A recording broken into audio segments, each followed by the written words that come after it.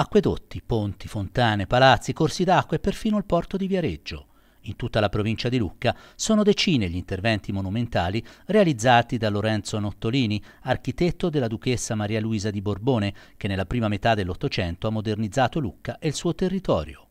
Per sensibilizzare e valorizzare il genio di Nottolini nasce un gruppo di lavoro che si impegnerà in un progetto triennale fino al 2025. Lo ha annunciato il professor Pietro Paolo Angelini nell'ambito delle iniziative del bicentenario di Maria Luisa di Borbone, curate dalla Fondazione Banca del Monte di Lucca per ricordare la figura della duchessa di Lucca. Del gruppo di lavoro fanno parte tra gli altri Oriano Landucci, storico ed ex presidente della Fondazione Banca del Monte di Lucca, e il presidente in carica Andrea Palestini, e ancora Elena Cosimini, l'architetto Stefano Carlo Vecoli, Katia Bracciavento per l'ufficio scolastico territoriale, Ave Marchi, presidente della Fondazione Paolo Cresci, Luciano Luciani, docente e scrittore, ed il professor Enrico Del Bianco.